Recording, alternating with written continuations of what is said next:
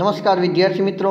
ધોરણ અગિયાર, કોમર્સ, વિષય, SP and CC chapter number આઠ, ધંધાકીય મૂડીના પ્રાપ્તિ સ્થાનો જેમાં તમે શેરના પ્રકાર ભણો છો અને એ શેરના પ્રકારની અંદર આઠ પોઈન્ટ, બે પોઈન્ટ બે પ્રેફરન્સ શેર વિશે આજે એની સમજૂતી મેળવશું.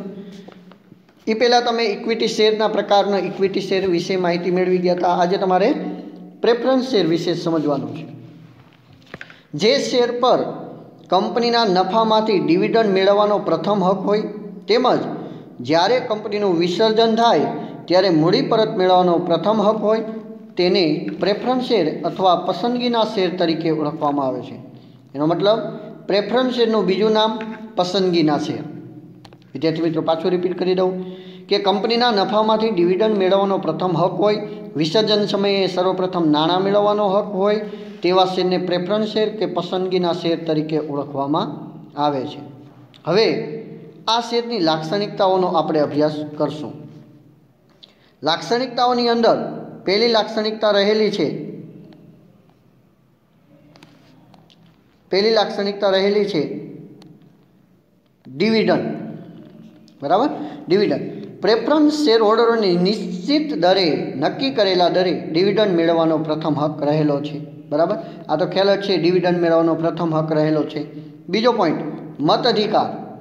પ્રેફરન્સ શેર હોલ્ડરોને માત્ર તેમના હિત સાથે સંકળાયેલી બાબતોના જ મત આપવાનો અધિકાર છે.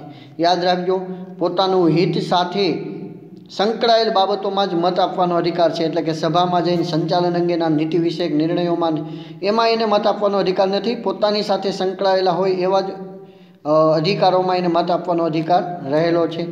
આગળ વાત કરવામાં આવે તો પસંદગી. યાદ રાખજો, સ્થિર, નિશ્ચિત આવક અને મૂડીની સલામતી ઈચ્છતા રોકાણકારો આ પ્રકારના શેર ખરીદવાનું પસંદ કરે છે. કોણ આવા પ્રેફરન્સ શેરને પસંદગી કરે છે? તો કે જેને સ્થિર નિશ્ચિત આવક માટે મૂડીની સલામતી ઈચ્છતા હોય. ચોક્કસ નક્કી આવક મળવી જોઈએ અને મૂડીની શું હોવી જોઈએ? સલામતી ઈચ્છતા હોય તેવા રોકાણકારો આ પ્રકારના શેર ખરીદવાનું શું કરે છે? પસંદ કરે છે. બીજી વાત કરવામાં આવે તો બજાર ભાવ. કેવો ભાવ? બજાર ભાવ. આ શેરની કિંમત પ્રમાણમાં સ્થિર રહે છે. જ્યારે વ્યાજના દરના માળખામાં ફેરફાર થાય ત્યારે જ તેની બજાર કિંમતમાં ફેરફાર થતો હોય છે. એટલે બજાર ભાવની અંદર આ ઇક્વિટી શેરમાં ભાવમાં વધઘટ ઝડપથી થતી હોય છે. પણ પ્રેફરન્સ શેરના જે ભાવો છે એ મોટા ભાગે અ, વધઘટ સ્થિર રહેતો હોય છે. એનો કિંમત કેવી રહે છે પ્રમાણમાં? સ્થિર રહે છે. એટલે વ્યાજના દરના માળખામાં ફેરફાર થાય ત્યારે તેની બજાર કિંમતમાં થોડો ઘણો ફેરફાર થાય છે. પણ ઇક્વિટી શેરની જેટલો ફેરફાર થતો નથી. આગળ વાત કરવામાં આવે. તો જોખમનું પ્રમાણ આ પ્રકારના શેરમાં એટલે કે ઇક્વિટી શેર ઓર્ડરો કરતાં મૂડી પરત મેળવવાનો પ્રથમ હક હોવાથી જોખમનું પ્રમાણ ઓછું છે. ટૂંકમાં જોખમનું પ્રમાણ કેવું રહેલું છે? ઓછું છે. હવે છેલ્લો પોઈન્ટ રહેલો છે મૂડી પરત. મૂડી પરતની તમને ખ્યાલ જ છે મૂડી પરત મેળવવાનો કેવો અધિકાર રહેલો છે. તો મૂડી પરત મેળવવાનો વિસર્જન સમયે, બરાબર? બધી જ જવાબદારીઓની ચૂકવણી કર્યા બાદ ઇક્વિટી શેર ઓર્ડરો કરતાં પહેલાં, એટલે કે ઇક્વિટી શેર ઓર્ડરોને છેલ્લે પણ પ્રેફરન્સ શેરહોલ્ડરને મૂડી પરત મેળવવાનો અધિકાર પ્રથમ રહેલો છે.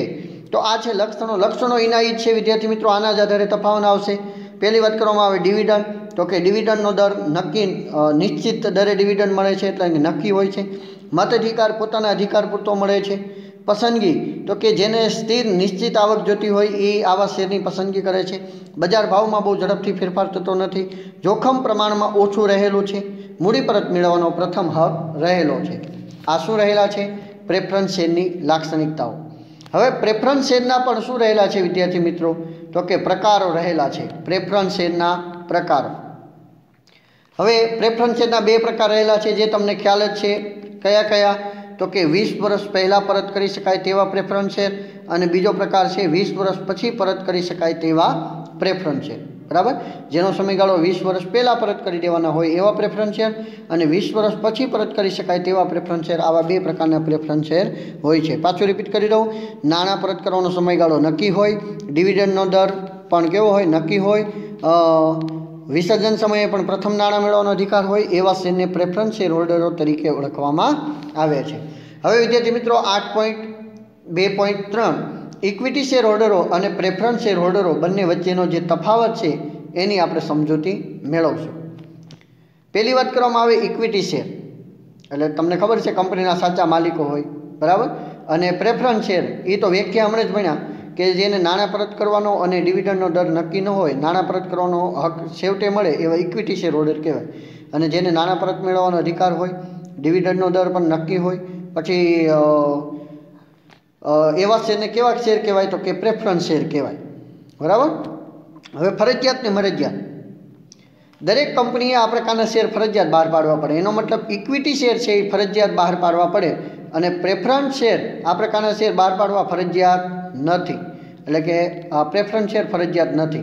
ઓકે ચાલો, બીજો પોઈન્ટની વાત કરવામાં આવે. ડિવિડન્ડનો દર તમને ખબર છે કે ઇક્વિટી શેર હોલ્ડરોમાં ડિવિડન્ડનો દર અનિશ્ચિત હોય અને પ્રેફરન્સ શેર હોલ્ડરમાં નિશ્ચિત હોય. હમણાં જ તમે ભણ્યા. અધિકારની વાત કરવામાં આવે તો ઇક્વિટી શેર હોલ્ડરોને સભામાં હાજર રહેવાનો, મત આપવાનો તથા સંચાલકોને ચૂંટવાનો અધિકાર છે. પણ પ્રેફરન્સ શેર હોલ્ડરને પોતાનું હિત સંકળાયેલું હોય એવું જ અધિકારો છે. એટલે કે સંચાલકોને ચૂંટવાનો અધિકાર નથી. જોખમની વાત કરવામાં આવે તો ઇક્વિટી શેરમાં જોખમ વધુ છે, જ્યારે પ્રેફરન્સ શેરમાં જોખમ ઓછું રહેલું છે. રોકાણકારો કેવા? તો કે જોખમ લેવા અને શેરમાં છટ્ટો કરવા ઈચ્છતા રોકાણકારો આ શેર વધુ પસંદ કરે છે. અને તમને ખ્યાલ જ છે પ્રેફરન્સ શેર હોલ્ડરો કોને પસંદગી કરે? કે નિશ્ચિત આવક મૂડીની સલામતી ઈચ્છતા હોય, નિશ્ચિત આવક પ્રાપ્ત કરવી હોય, મૂડીની સલામતી ઈચ્છતા હોય, એવા રોકાણકારો પ્રેફરન્સ શેરમાં રોકાણ કરે છે? રેડી હવે આગળ વાત કરવામાં આવે તો બજાર ભાવ. કેની વાત કરશું? તો કે બજાર ભાવ. હવે બજાર ભાવની વાત કરવામાં આવે તો આ શેરના બજાર ભાવ વધઘટ થાય છે? અને એના પ્રમાણમાં સ્થિર રહે છે એટલે કે બજાર કિંમત વધઘટ થતી નથી. કેમાં પ્રેફરન્સ શેરની અંદર? મૂડીમાં વૃદ્ધિ. આ પ્રકારના શેરના હકના શેર મળે છે. બોનસ શેરના કારણે મૂડીમાં વૃદ્ધિ થતી હોય છે. બરાબર? હકના શેર મળે બોનસ શેર મળે, આવા શેર આપતા હોય છે ઇક્વિટી શેર હોલ્ડરોને એટલા માટે મૂડીમાં વૃદ્ધિ થાય. અને પ્રેફરન્સ શેરમાં મૂડીમાં વૃદ્ધિ થતી નથી. તો આ છે ઇક્વિટી શેર હોલ્ડરો અને પ્રેફરન્સ શેર હોલ્ડરો ઇક્વિટી શેર હોલ્ડરો સાચા માલિક ગણાય છે. બરાબર? એને મત આપવાનો અધિકાર હોય પ્રેફરન્સ શેર હોલ્ડરોને મત આપવાનો. પોતાના પૂરતો હોય એટલે સંચાલકોને નિમણૂક કરવાનો અધિકાર નથી. ઇક્વિટી શેરમાં જોખમ વધુ છે પ્રેફરન્સ શેરમાં જોખમ ઓછું છે. બરાબર? તો આ તફાવત રહેલો છે ઇક્વિટી શેર અને પ્રેફરન્સ શેર બંને વચ્ચેનો. તો વિદ્યાર્થી મિત્રો, આજે તમે પ્રેફરન્સ શેરની લાક્ષણિકતાઓ ભણ્યા અને ઇક્વિટી શેર અને પ્રેફરન્સ શેર વચ્ચેનો તફાવત ભણ્યા છો, તો આ તફાવત પાકા ચોપડામાં અને લાક્ષણિકતાઓ પાકા ચોપડાની અંદર લખી લેવી. તૈયાર કરી નાખવી. આપણે એકવાર ઝડપથી આનું શું કરી દઈશું રિવિઝન કરી દઈશું, જેથી કરીને તમને ખ્યાલ રહે. જે શેર કંપનીના નફામાંથી ડિવિડન્ડ મેળવવાનો પ્રથમ હક હોય તેમજ કંપનીનું વિસર્જન થાય ત્યારે મૂડી પરત મેળવવાનો પ્રથમ હક હોય એ પ્રેફરન્સ શેર હોલ્ડરો કહેવાય. ડિવિડન્ડ નિશ્ચિત હોય છે. મતાધિકાર, તો કે પોતાને મત આપવાનો, સંચાલકોની નિમણૂક કરવાનો અધિકાર નથી. પસંદગી કોણ કરે? તો કે મૂડીની સલામતી ઈચ્છતા હોય એવા. બજાર ભાવની વાત કરવામાં આવે, બહુ વધઘટ થતો નથી. જોખમનું પ્રમાણ ઓછું રહેલું છે. મૂડી પરત મેળવવાનો સર્વપ્રથમ હક રહેલો છે. પ્રકાર કેટલા છે બે? વીસ વર્ષ પહેલાં પરત કરી શકાય તેવા અને વીસ વર્ષ પછી પરત કરી શકાય તેવા. બરાબર? ઇક્વિટી શેર કોને કહેવાય? તો કે કંપનીના સાચા માલિકો જેને નાણાં પરત મેળવવાનો કે ડિવિડન્ડનો દર નક્કી ન હોય એવા શેરને ઇક્વિટી શેર કહેવાય. પ્રેફરન્સ શેર કોને કહેવાય? તો કે જેમાં નાણાં પરત કરવાનો સમયગાળો નક્કી હોય અને વિસર્જન સમયે સર્વપ્રથમ નાણાં મેળવવાનો અધિકાર હોય એવા શેર હોલ્ડરને પ્રેફરન્સ શેર કહેવાય અથવા પસંદગીના શેર તરીકે ઓળખવામાં આવે છે. ઇક્વિટી શેર ફરજિયાત બહાર પાડવા પડે પ્રેફરન્સ શેર મરજિયાત હોય.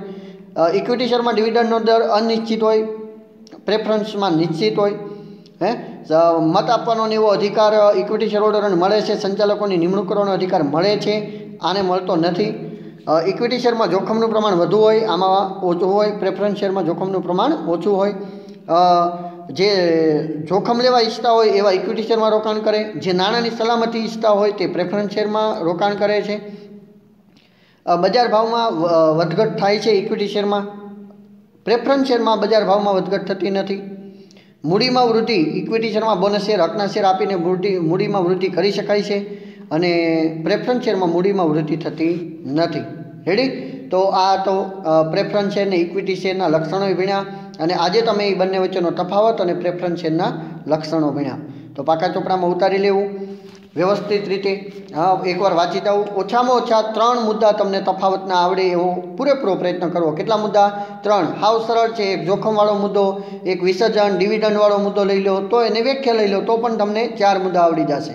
ઓકે તો જય હિન્દ જય Bharat thank you very much.